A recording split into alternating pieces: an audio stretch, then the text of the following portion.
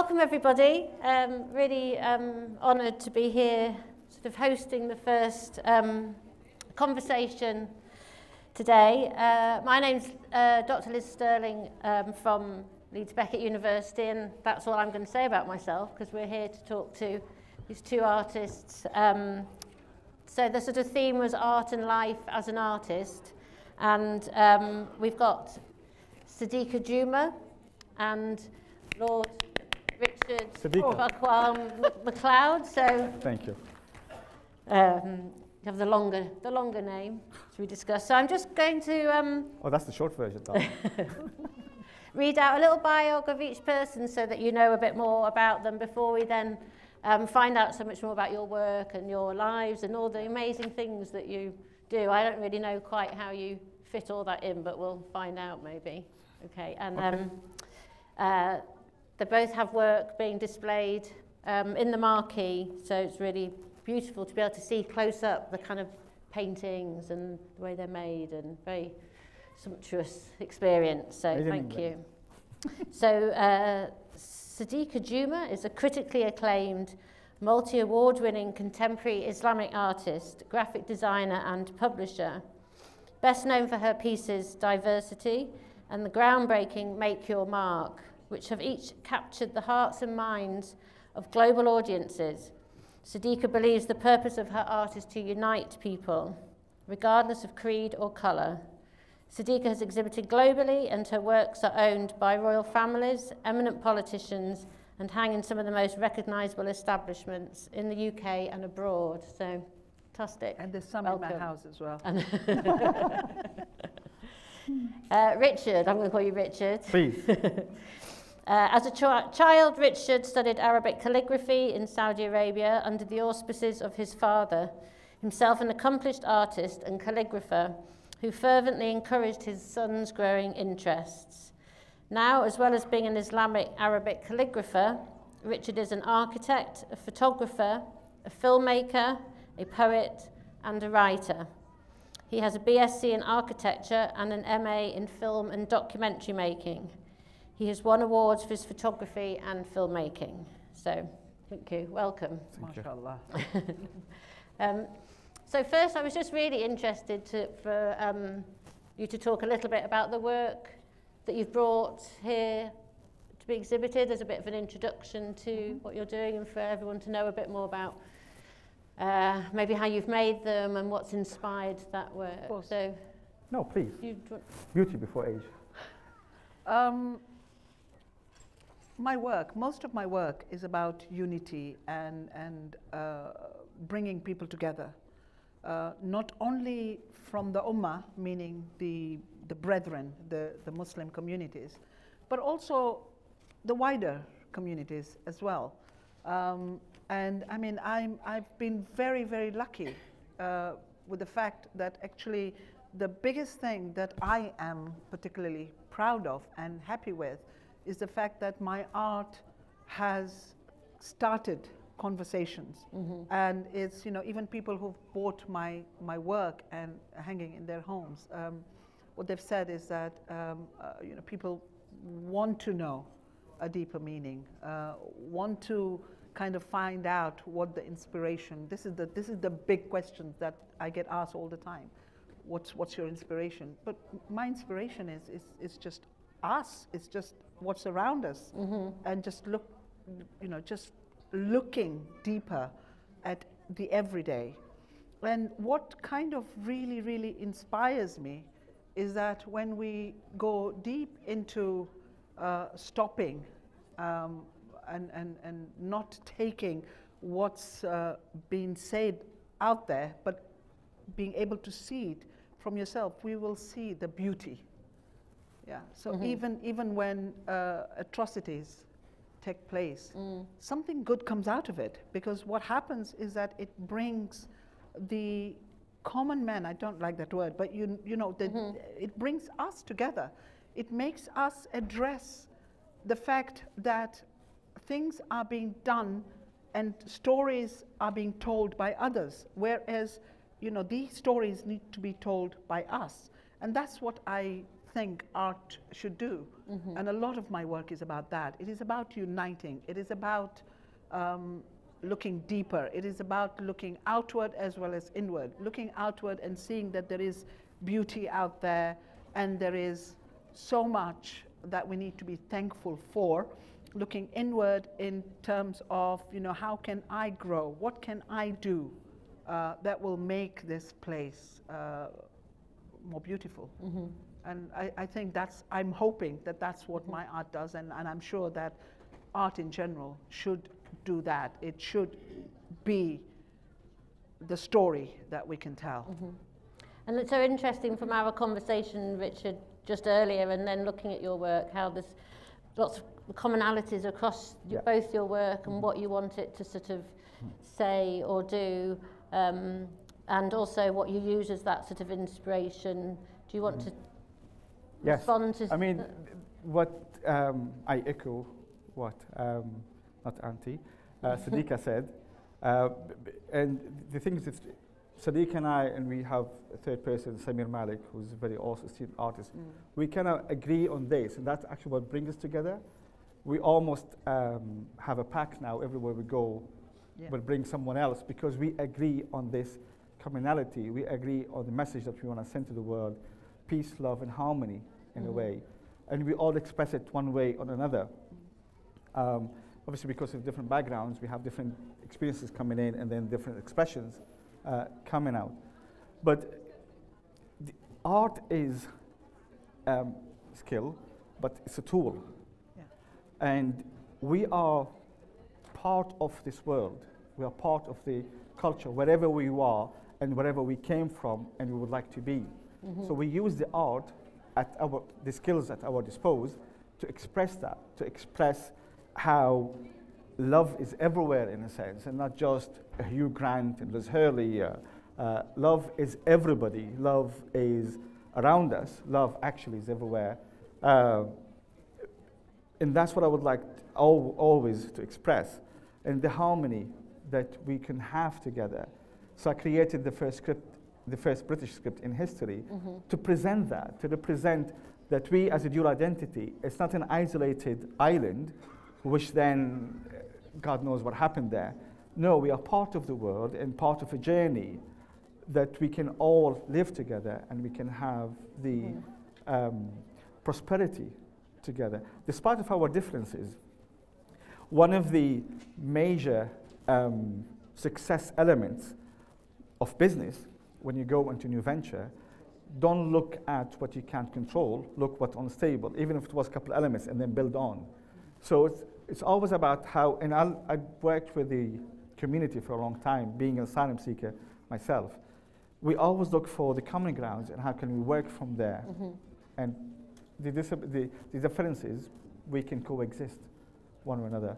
And I think that's the message we always have um, in our work. And I think most of the audience uh, agree with this. We have lots of commonality, which we can, and values we can all agree. art has a particularly unique way of doing that? You know, because obviously music is another kind of form, isn't yes. it? That's very much about that. Yes. What What was it that drew you to sort of art and particularly, suppose, painting um, and some of the other forms you use to, to express that? What um, What do you feel that that is? It also your own enjoyment and yes.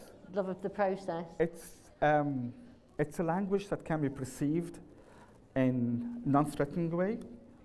Uh, so it already has an open arms in a sense to in welcoming um, when you go through the message through the through the art. So when you talk about peace, if you grow a beard and have a short dress and what have you, and say I'm an imam and I'm talking about peace, you straight away gonna have some prejudice. Mm.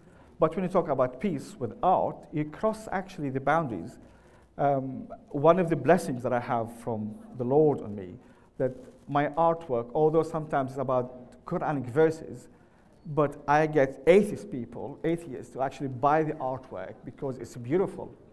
Uh, some of the events I participate, sometimes I just write people's names, and people have that artwork because it's their name, and they take it away, and I meet them in different events two or three years later, and say, I still have that piece of art.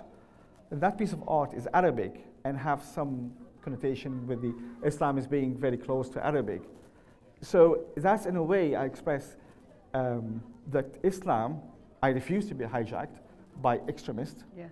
and to be dominated by whoever, whatever tag they put on themselves and say, this is Islam. I refuse that. And I present a version that I believe in. This is Islam. And we don't go around kill people. We talk about love. There's lots of commonalities that we can agree on many, many values. And that's what I hope that my artwork brings in. Like diversity, for example. We employ color to represent different people, different, different color, different creed, and say we can all be in harmony together. I was thinking just when you were talking about Siddika about your wall that you talked about in Yes. London, you maybe um, tell people about that um, experience, which isn't only the colour that represents that, but actually the people, are, other people are taking part in that. Exactly. Well, when when uh, uh, uh, the the president across the pond was trying to build walls to divide us, um, I worked with an, with an organization called Masterpiece, who were talking about using the existing walls, because walls, uh, in effect, it, it, they're, they're put up to kind of divide us you know, f- the inside and the outside. Well, if we can't do anything about that, what we can do is actually beautify it. So, um, near London Bridge, uh, and it's it's it's uh, interesting the fact that actually this happened soon after the, the, the bombing near you know the London Bridge and so on. There's a wall just by the side of uh, Shakespeare Globe, and uh, I was invited to uh, try and bring people together to create something. So I, I, I basically uh, painted uh, a meadow and invited people to put daubs of uh, paint uh, to represent themselves and to, to, for them to be the flowers that make the meadow beautiful. And the response was unbelievable. And that area there, there's a lot of uh, uh, tourists. And funnily enough, there's a lot of American tourists who just came and embraced us and said that this is amazing. This is exactly the message that we want to give. And that is that we will not let walls divide us. If we cannot bring them down, we will turn them into something else. We'll turn them into message of peace, message of beauty. And I think this is the beauty of, uh, in, in, in my case, a lot of my work is, uh, is about unity, as I've said to you before, but it's also about inviting people to be part of that painting, to be part of the story. And you know, it, it, it's empowering when they can hold a paintbrush. I've had so many people say, yeah, but I can't paint. You can paint. That is, uh, like, like Richard was saying, it's that, you know, painting is a tool. Yeah, you, you, can, you can give that message, you can uh, uh, uh, show solidarity in, in so many different ways. And if you can do it in a creative way, it somehow uh, brings people together. It is like, like Richard was saying, it, it's, uh, it's non threatening. You know, what's a paint gon- going to do? It's not going to blow you up.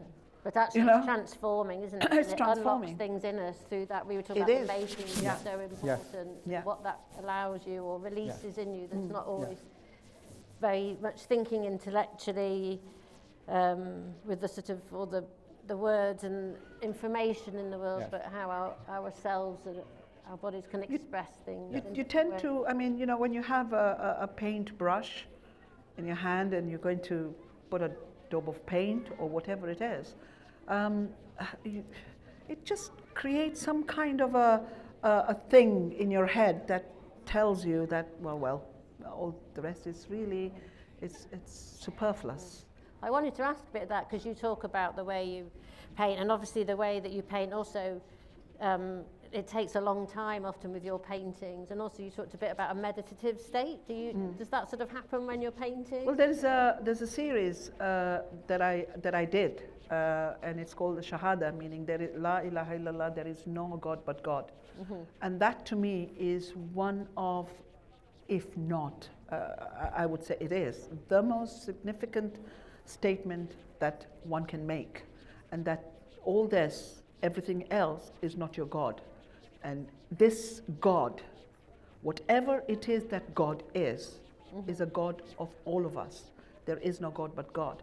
And the way I've done it is repeat that statement thousands and thousands of times. And um, you know, my, my, my children always joke, you know, that when one of the things that we get asked, and Richard will, will agree with this, you know, how long did this painting take you, right? Um, and when you ask my children that, when they were sort of younger, or they, they still do, by the way, um, you know, how long did this take your mum to do? Uh, their answer is, how long did mum not do the housework? or mum didn't cook, or mum didn't, because I mean, especially with work like that, it literally it becomes between you and that canvas. Mm-hmm. It's like um, prayer bed, you know, mm-hmm. the tasbih we call it, you know, la ilaha illallah, la ilaha illallah. And you're writing and you're writing and you, and you lose yourself. It's like, uh, I think the only way, not that I've ever um, danced like, like a dervish, but I, I, the, the only thing that I could describe it I think I would feel is like, you know, getting into that circle mm. and you're just in it and in it and in it. And it's a very, very beautiful state. Mm. So it's Everyone quite meditative. Everyone should experience. It's, it's, a, it's a form, it, it's in a way, I wouldn't say that this is my Islamic faith. This is spiritual rather than a man made uh, name that I could give Islam, Christianity, Judaism, Hinduism, whatever it is. It is that relationship between you and your maker. Mm. That's, that's, and, and, and that to me, that is, um, it's, it's quite a, on my part, it's quite a selfish thing. I, I love it. Mm. And hopefully, when you come out of that state, your children Calm. have cleaned the house. it's highly, highly unlikely. Uh. it's highly unlikely. But I'm training my husband to do okay. that. If I can so comment you, on the walls. Yes, on, yeah. The thing is, when we build walls, it's mainly to uh, organize and protect. This is why we build walls in the first place. The problem is it becoming, it's creating the other on the other side. And that's the problem. And then the other, because of the ignorance, it creates the fear, which then end up being with the hostility because I don't know the other person. So straight away on the back foot, try to defend and even attack is the best form of defense. And that's sometimes the problem with the wars. And that's why I love your work, because it brought back the original focus on the wall. It's to protect and organize, but it never to actually create another person. We all have the right to privacy in family life and what have you, but it's not ever meant to be creating the other and being hostile about them. Yes. So I love this, what you did with the wall. Um, when you talked about uh, meditation, um, I think every artist, um, I think everybody, there's an artist in everybody. Yes. And art is never the form of painting. It could be um, your cooking. You know, mom is very good cook eventually. she never was on my days, mm-hmm. uh, but eventually became really good cook. Uh, and that in itself is an art. It could be the way you dress, the way you talk. A lawyer could be an artist. And I did law for a while because I love the wordsmith. But art in itself, when, you, when, you're in that, when you're in that phase, when you're in that solitude with art, I find it very healing. Mm-hmm. Yes. Um, I went through hard patches in my life. And I went to psychologists and tried to work with them and therapists. And they couldn't give me medication, nothing worked with me. But what worked is to go and create art. And that was in the form of photography, filmmaking. It took me ages, and painting. That's what really myself is uh, helped me. I don't believe in medication to a certain limit. I believe in art mm-hmm. being therapeutic. Mm-hmm. And that's how I find it in terms. And so I was thinking, because looking at your um, the sort of beautiful paintings and particularly the Arabic script, which is so precise in many ways, but also so kind of poetic, lyrical. I just wanted to ask you a bit more about how you um, how you do it, or do you are you again in a kind of zone when you're sort of doing yeah. that, or does it depend on what you're using? Or the focus is important, obviously. So when you when you are in that zone, you need a bit of kind of solitude to be able to get into the zone, whatever gets you, whether in the background to, to wash out the white noise, uh, music, Quran, whatever. uh, to get you focused. But once you get to that state and you start producing, and that with anybody who actually work and produce uh, things. But I had the conversation earlier with Jamila, and she was asking me, uh, how long does it take you, and how much do you go with this? And I said, I, know, I don't know. Um, being a doctor, you know, you spend a certain amount of years, I'm not saying how long, quite a lot, quite a few. Too long. uh, to actually reach that level. And now when you create an artwork, is it, was it born now or was it in the making all that Mm. time? What I find is everything we make is actually born from our experiences, our feelings, our emotion. Everything we did, uh, a movie we watch, a song we listen to, a lecturer we listen, it all goes in to create that. So when you say is, I made this in two days, is it? The skill Yes. itself Mm, took a mm, few years. Mm. The experience took all a lifetime to create. So this is as long as it takes to, to create that. Mm. But to get to that level of precision, if you like, well, you know, it's a skill Mm. and it's more motor uh, skills that you have to develop over the years by just practice and repetition. Yeah, it was sort of interested because you, I wondered if, obviously you, you learned calligraphy with your father and then did you just do other things and it's something that you kind of Yeah. returned to and started doing and it sort of brings you back to that relationship with It was a conspiracy. I had no chance whatsoever. We had, um, we, we used to take uh, part of the curriculum to learn calligraphy in the school. So I, I, just I had no chance. And obviously, and I didn't like sport because I always had end up the football in my face. I just didn't know how to play football. So I did art since I was a kid. Um, my father also was a calligrapher, so I spent a lot of years just watching him le- doing the calligraphy. And anybody who would do calligraphy or art, part of developing the skills is actually just watching. Yeah. And I was just mesmerized, was watching that, how he do it. Just he's writing. I still can't do that. When I just sit down and writing, I have to get myself in a state where I have to write. Uh, but yes, I end up doing lots of things because when you make money, when you want to make money being Asian, we have to make money. So to make money, be a doctor. I couldn't be a doctor because I hate the long terminologies. Uh, the next thing is being an architect. It was booming in Lebanon, so I did architect, uh, architecture, and that was one way to make money from design and art.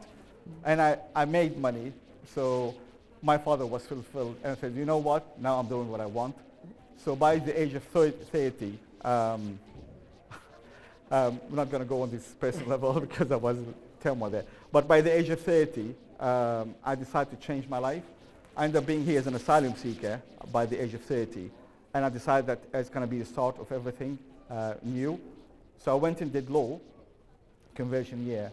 And I did law, then I did photography, um, and then I had my break, uh, divorce, and I met my lovely wife Sue over here. and I wanted to surprise Sue, so I went to the Newcastle College without telling her and did a massage course, but that ended up being a whole new business. And she was learning behind my back Arabic as well. so she was sneaking out in the evening. I said, where are you going? Says, well, uh, she told me eventually, and it wasn't Arabic because it wasn't my accent. um, but I was always passionate and drawn toward design. So I went back into filmmaking, uh, and I did a few films, and I won awards along the way. So in photography and filmmaking, Excellent. uh, here and abroad. But then it was painting what really caught me. When I see the watercolor becoming a painting, expressing, you write a word, but then you go, you mesmerize with it because the word goes beyond um, just one word. But then when you actually then shape it in a way that communicate on different level, because there's Yeah, a visual absolutely. part of it. So one of the things I do, for example, is I write the word silence, but in a way, the ink is everywhere. So it's, there's no silence, and the painting itself is so loud, the word silence. And that's what I love about. It's the subtext, which we learn about the body language, about your appearances, about the statement you make with everything we do every day, whether we want it or not, whether we actually do it on purpose or not. But we make a statement every morning. So when you say, no, I can't be bothered today, and you end up being, don't look good, you're making a statement, whether it was cry for help or God knows what. You're making statement every day, and that's what I love about the artwork and the colors Mm. and the imperfection of the lines. Yes. I was thinking about that because obviously there's an, a- there's an aspect of painting where you don't have, or maybe you do have full control. There's a sort of conversation going on with the paint, and Yes. you've also been working digitally, haven't you? Yes. And I wondered if that's a bit different way of working because you're working through the sort of.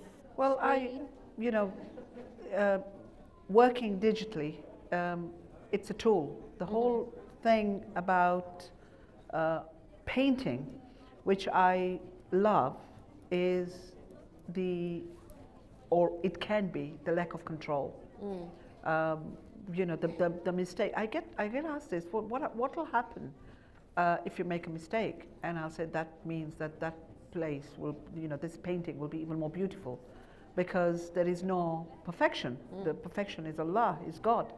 Uh, and then at the same time, working digitally when you have total control. That two things, to be able to do both, is actually fascinating.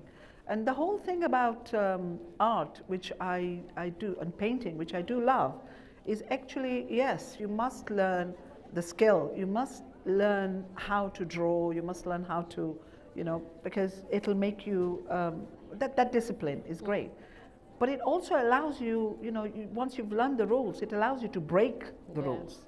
Um, and that's what I love too. So, I mean, my, my background is I'm a graphic designer. That's what I trained as. So that's why I'm able to do the digital work. But because I have the training in graphic design I, and with the painting, I'm able to hopefully, uh, you know, maybe the viewer will tell me otherwise, but I'm able to do both. And what I try to do also is break the rules in both because that's where the beauty comes.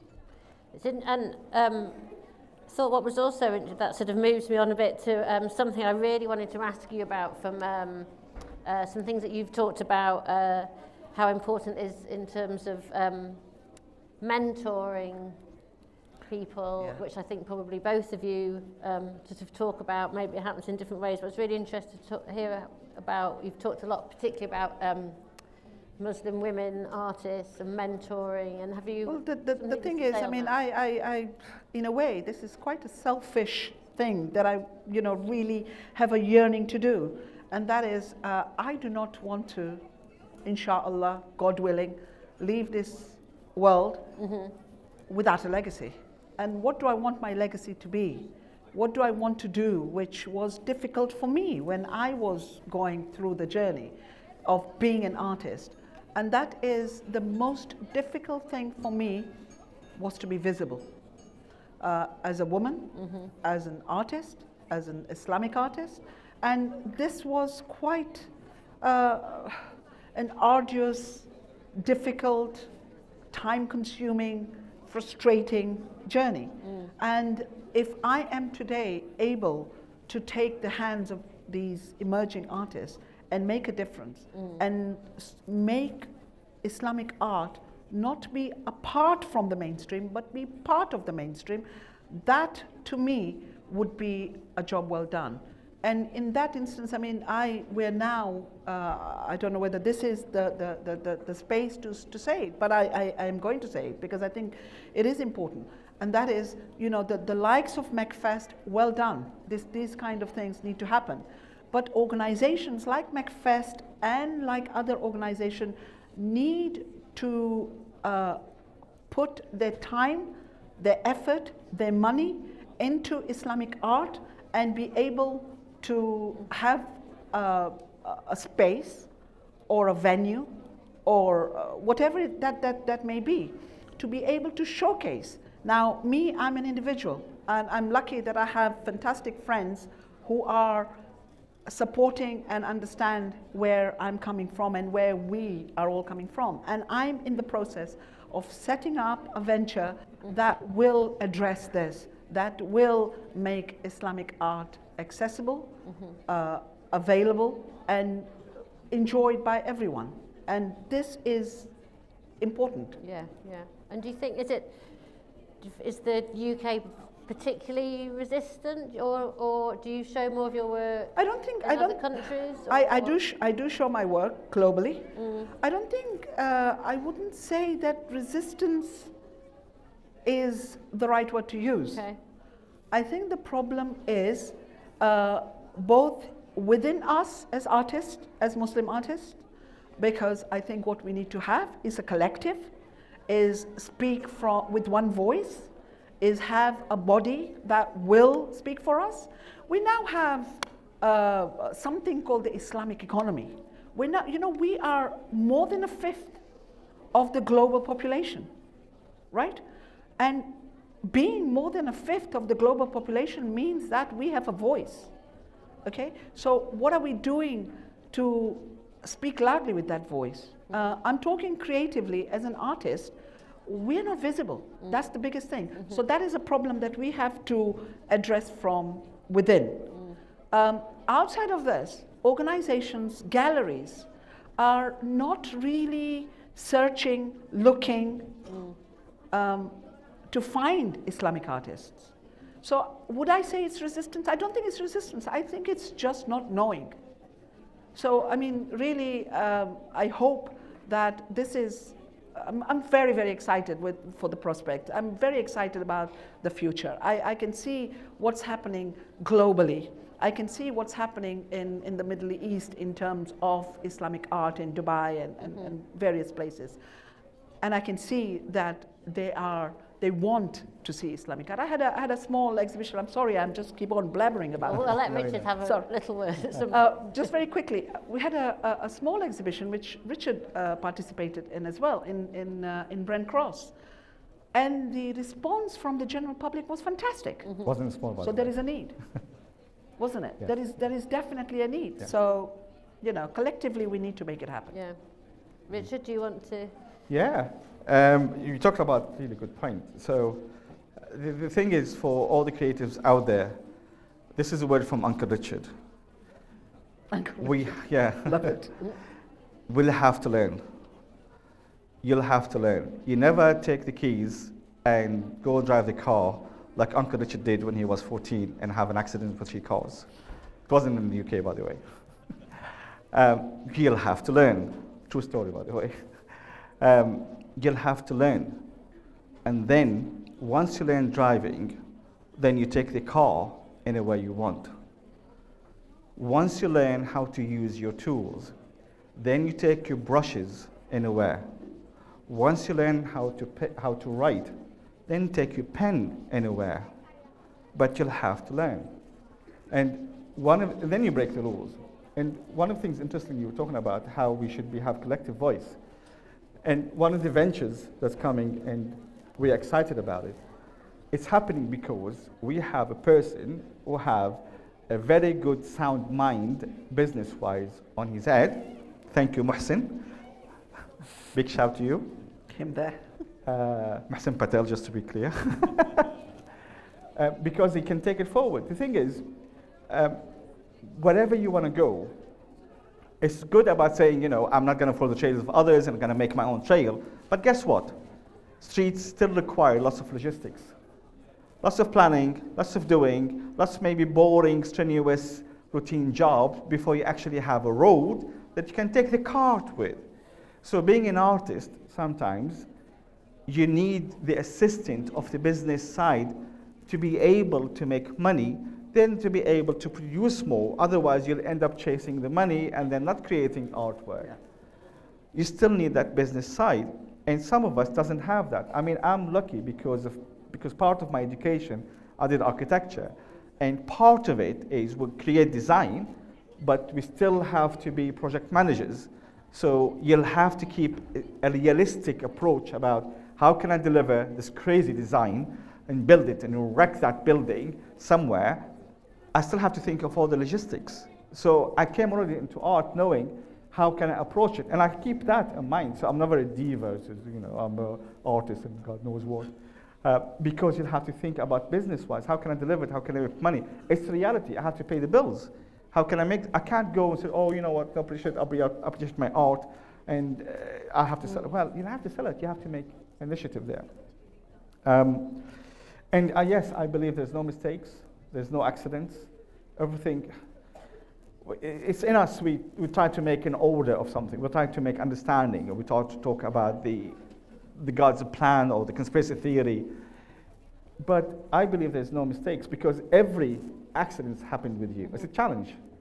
But then how can you convert that? Mm. Hassan Massoudy have a, a, very interesting approach when he creates artwork. He goes into his um, studio, start doing uh, creating calligraphy, and he's a very, very good calligrapher. I think he's the father of modern calligraphy because he learned painting and then approached calligraphy with painting, and he was great there. And he's still going. But one of the interesting principles, when he paint, now he, as the architecture of that painting, he knows there's a line somewhere that's not in harmony with the rest of the painting. So he make it again and again and again and again. And might end up having a 20 painting before he eventually said, yes, I'm happy with this one. But he put all the 20 on sale. Now, my philosophy is the imperfection in the painting correspond with your own imperfection. We're not perfect. No. We're far from perfect. And we know that. I mean, we hide it behind paint, behind clothes, behind uh, social veil, but we know we are imperfect. We know we are vulnerable at some point in somewhere. And sometimes that painting, with its imperfection, it corresponds with us mm. and resonates with us. And this is something artists sometimes don't understand. Mm. That that imperfection, because it's about showing the best of it. It's like having your children for Eid, and you dress them to the best behavior, and you never really, you know, shout at them in front of people. But when you go home, they'll have the smacks. I had loads of it as a kid. But it's about this showing that best, best of, of the version. I do believe that we need to be the best version of ourselves, but I, need to, I also believe that we, don't, we shouldn't be ashamed of our imperfection. And I hope that the artwork corresponds on that level as well. Well, it was interesting. You were showing me one of your the small painting in the gold with the yes, and how you um, admitted. Yeah. said there was a sort of smudge, so you then started to paint over that, and then something a whole new yes. painting had come from that, and how actually those accidents and imperfections yeah. open up all sorts of avenues yeah. that you've never yeah. thought of. That they're so important creatively, yes. don't they? It's like having, uh, I have sometimes the father, my father's voice or someone else. Um, but even as a mentor, so when your students come to you and says, oh, I have this, I'm ruined. All right, how can we work with it? If you approach it as a challenge, how can you approach it? So I was saying to Liz um, that I made this painting, and it's a painting of Al-Qudus. And I'm always conscious when I'm painting Al-Qudus because of all the pain and agony that actually present and there's always a problem, if you want to call it a problem, when I paint Al-Qudus. There's always a problem. It never works. It's like when I sometimes paint my own daughter name, it never works because there's lots of emotions there and they get in, interfere. So almost like I want to control something. So when I paint the Qudus, there's always a mistake. So I was painting the Qudus. The idea in my head, the sketch that I have in my in my sketchbook is I'm going to have a, a pink background and the dome of the Qudus is gold, and I'm going to put some golden accents around it.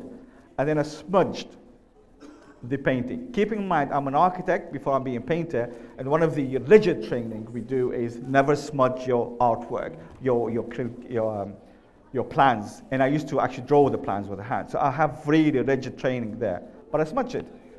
So I start hiding it. But sorry, not hiding it. I thought, well, it's a challenge, so let's work with it. So I created a line, and the line continued and continued and continued, and then the whole painting had circles around it in gold. And that now end up two layers because you still see the pink, but the gold around it. Now, my philosophy this is the people who love Al Qudus. The true people, the, the genuine people who love Al Qudus. Because to me, gold, I represented many paintings as genuine people, you know, gold being um, the finest metal. So this is the people. And then added more lines. But there's another thing about it. But it's about working with challenges. Because that's what we also teach our children. When a child comes to you with a problem and says, This is a problem, this is a brick wall, I would never live behind it, because the one I love never now doesn't speak to me. He says, okay, how can we deal with it? It's a challenge. And that's how I deal with artwork. Before we sort of ask if anyone wants to ask anything from the audience, I just wondered if there's things that you're seeing out in the world that excite you that other artists are doing, or um, it'd be really great to, you know, share any of those. I know this was a surprise question that I haven't prepared you for. Oh, but, no um, problem. uh, yes, the uh, Liz that- gave us the questions. That's, that's, the, that's the most important thing, isn't it? Surprise us. Richard. can, Uh, thank you, but I insist. or we can give you time to think about it and ask. No, I'm there's happy let, to let, let, answer. me, let me tell you what excites me. Okay. What excites me is there is some really beautiful art out there, Islamic art. But what really excites me is the change of attitudes of probably parents who might think it's okay to let their children do art as a career. That excites me because what's going to happen there is this new breed of people who will come out and think it's okay to be an artist and that will change attitudes and that will change the Islamic art world. That's what Yeah. excites me. And is that, if it's that specifically, when you were developing your own sort of career as a painter, did you find those kind of sort of barriers, not There's with your parents, but huge- with people sort of saying what? When I was when I was doing art, because I'm the grandmammy of Islamic art, uh, because of my age, um, you know, it, it was not the done thing. It was oh maybe you couldn't be uh, a doctor or a or a pharmacist or a lawyer, whatever. So art was seen as if well you can't be very clever. That's why you're doing art and it was kind of working against the grain. It's it's it's that attitude. You always so i didn't i didn't go into art thinking i'm going to make a career of it. Right? Mm. And things will change when we will have the next generation who will think that i am going to make a career of it. Mm. Yeah that Yeah. to me would be a win. Yeah, yeah, yeah. Okay. The thing is with art, um, there have been studies. I don't claim that I present this knowledge. I've read this. And there were studies to say, one, it, art is needed to be a part of the curriculum. And there's been studies to prove that the government, when they push for, push for more math and science, they're actually losing. They're actually losing when they don't push for art as well. Because art is not just in the classical form of painting. Art is also design. So when Apple designed the iPod, there was art there. And Northumbria University is very proud that the one part of the team that designed the iPod is actually graduated from Northumbria University, and they're now big in design. Calligraphy is art, but making the cars is art. Carlos Ghosn, who was uh, the president and the CEO of Renault and Nissan, he actually pushed big time for art. Apart from conversation, said they don't need much to actually be support. It's a little to us, but he acknowledged that we need the art in the car. Why? Because 65% of the decision makers of buying the car is actually female. And the females, when they look into the car, they don't know about the technicality of one from zero to 100. They don't know about the technicality of the suspension, about the engine, about the, these. They don't know that. They look inside the i'm car. a bit of a boy racer. They, they do. They look inside the car and see how beautiful it's inside, how comfortable it's inside, how its functionality is inside, and then safety for children. yeah. One extra thing here for the females as well. Is that it was actually the females who created the trend of the 4x4 cars because they felt protected in the big cars and it became a trend where then now men have those big cars, but actually it was the females who created that. So that's an extra thing. Um, what I'm excited about? I'm always excited. Uh, I'm excited that I had today conversation. Yesterday, my friend here, Camille, Kamil there, uh, the Afghani guy, Camille, Kamil, the Afghan, I w- he helped me yesterday, uh, taking stuff out. I had a nice conversation with him. And he's an artist, to be honest, uh, because once he finished, I didn't ask him. He tidied the car for me. I said, well, thank you. I didn't need to. Um, Jamila, I had a conversation with her earlier uh, about uh, mental health, but she's approaching in a way art. Uh, I mean, she created this, and it's an art in itself to actually create all that. Uh, who's a business manager uh, for this new venture, but he's an artist in his approach. His wife, Asma, sorry, yes, um, she's an artist. Art is around us. So when I did the, ba- the painting, Love Actually is everywhere. It's also art. It's everywhere around us if you see it. Mm-hmm. And that's what I'm, it excites me. It excites me also that we are part of an era where art is not classed to be anymore is a, a degree for the dump, for the, the for thick. You don't have to have much of a high score in, in your GCSE or A levels to go into art. And it's being acknowledged. I'm excited that now we have PhDs practice-based because then you can do to go to that, and we were having that conversation. You don't have to actually sit down and write this long thesis, which might not, nobody actually would read it, to become, to have a high acknowledgement within your trade as an artist. You can be practice-based. It's exciting. Mm-hmm. Exciting that we have the dual identity, because for long years, back in the days when Yemenis and Pakistanis and Caribbean came over, and they struggled with the dual identity. They've struggled big time. They didn't know where to go. I came here as, a, let's say, for a Pakistani, well, they came over here, and I have certain culture that I have to be abide with, because that's how I'm geared. That's how I'm actually formed. And they didn't know what to do. Created lots of issues of loss of identity. But now we are at an age that we can celebrate this dual identity with art as well, like any other thing. Mm. And this is really exciting. Thank you. Thank you. Not sure about the car. Do we have any, um, does anybody want to ask any questions? Yes. I have to do it quite loudly, so if it's possible. Sorry. If you do you want to say it and then I'll say it loud. Oh, have we got it? There's a microphone.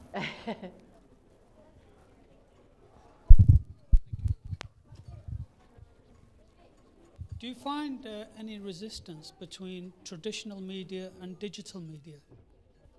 Yes, um, there is uh, a kind of a misconception that if it's digital, it can't be very good. Um, if you are able to do digital work that is not taking, this is going to sound awful, but it's not a cut and paste, right? Where if you are able to create art, it doesn't matter if you're going to do it with a digital board, on a canvas, or actually, you know, when you're on the beach on, on sand. So it's not really the tool. It is that creation of something that has a little bit of heart, that, you know, says something more than just I'll take a clip art from here and a clip art from there, I'll put it together, and there you have it.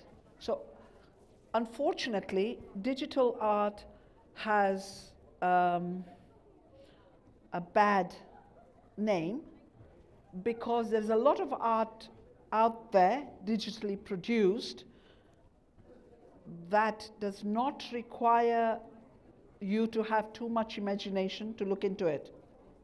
Yeah, you could, you could easily copy and paste it and create art. I'm not criticizing it, but I, I'll, I'll leave, I'll leave the, the, the, your own thoughts into this. The thing is with digital, it's like the whole process of art. Uh, sorry, the whole landscape of art. So we were talking about just earlier how art is not just the classical style of it in terms of paintings. There's also the wordsmith. There's the own cookery. Uh, art is in everywhere. Now, definitions are important because they kind of give you shape to what's already been known, but the clear shape. And Vasari in the 1700s, he was himself an Italian multidiscipline artist. And he was the first historian in history that he would actually um, document art. And he wanted to come up with a definition what distinguishes an artist from a craftsman or a craftsperson. So the definition was a craftsman who is very good at his uh, trade, an artist who is creative in his trade. Now, once you apply that definition, then you can apply it anywhere. Julia Cameron teaches creativity, and she's based in America. She teaches all around the world. And she applies that principle. So she can teach creativity to a banker, teach it to a lawyer, teach it to anybody from any discipline, because it's never about your tool, it's about your mind. The tool is just a tool that you use to express what you want and depends what you want. Now, from there, you can then say, okay, creative, digital can be also creative. Now, there's logistic issues with digital because with the classical type of art, let's say a painting, you have the painting, you, you get it. So if you buy a painting for 100,000, for 200,000, for 1,000, you have that item with you, and then you keep it. And that's the logistic issue with digital. And that should not distract you from the fact it's still art. And some people, uh, one Spanish photographer, I don't remember his name now, have solved that issue somehow. So he actually sell the photo and say, I will only print 200 of it, and then I will sell. It's a photo. It's beautiful, people engage and want to pay for it, but say, I will only print 200 of it, and then I'll stop there. There will be 200 versions of it in the world. So that's the logistic issue, but it's still an art. Do we have any more questions? Sorry if it didn't entice you enough to actually think about the question. Go on, yes? The microphone. There's a lady. Um, I, I missed about I missed out on the uh, the beginning when you were talking about walls, and I wanted to ask uh, Siddika and Richard, uh, what, how would you comment on the walls being built built in Germany, in Jerusalem? I've been to that one, and the the art on the walls is amazing. The bubble writing, beautiful. So, what's the relationship between walls and artists? You want to comment? Uh, I would say the walls in Jerusalem, in China, are put up actually as a barrier to one side to the other. When you can't break it down, you will have some sort of um, a way to kind of protest. So those sort of art, a lot of the time, are a way of protesting, but it is protesting in a very beautiful way. Um, I mean, if you look, the, the, the, the, the painting, the, the work on the walls in Jerusalem are absolutely amazing. And you know, the, the, the people who are producing that, th those paintings, or the people who are living on that side of the wall, are in dire straits. They are in a situation that is not acceptable. But what these artists have done, or what these people have said, is that we will not accept it. We will not be, we will not allow someone to put up this grey monstrosity. We will make a change. And human life is such that when you are in a, in a, in a situation, you will do your best to change that situation. So, in terms of the art that are put up uh, on walls that are supposed to divide us, are, uh, in, in my opinion, they are a beautiful way of protesting. Yes. Um, as I was saying earlier, wars originally were made to organize and protect. Now, you can take anything in the world, add to it a bad intention, and then turn up to be completely the opposite to it. So it was put with, uh, I don't know about China, but I know about Jerusalem. It, yeah, it was put with bad intention because I don't agree anyway with the whole concept of Israel in terms of it's illegal. No matter where I come from, the UN have deemed it to be illegal. So the whole entity. And we know about the history, how they moved from one, chunking from one piece to another to another. There's a history there. But uh, if you want to think of Muhammad to be a scholar, so away from the Islamic connotation and what have you, so Muhammad the Prophet says, you'll have to make a stand. where you are, you still have to make a stand. So if you can, do it, change. So if you're walking down the street and you see something that's bad in the street, instead of cursing the people who actually did it, take it off, take it away from the street, and they put on it uh, incentives to say you, that's a good deed, you'll get rewards for it. If you can't do something with your, if you can't change with your hand, change it at least with being verbal, verbal about it. Change it. And if you can't change it with your own words, at least your heart doesn't agree with it.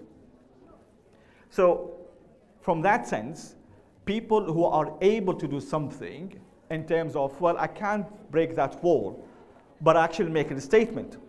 So, what's been built to symbol tyranny become actually a monument against them by putting that artwork, and it's collaborative because it's not just Muslims who actually made the artwork, it's people from around the world. And it becomes a statement anti that action. It becomes a statement from all over the world. People actually travel there. They paid money, they paid time, and time is your life. It's the, it's the most expensive currency, time. So they spend part of their lives to go there, risking it as well, to actually make a statement to say, not in my name, not on my watch. This is tyranny, and I'm making a mark to say this is not acceptable. And that becomes a symbol for anti tyranny.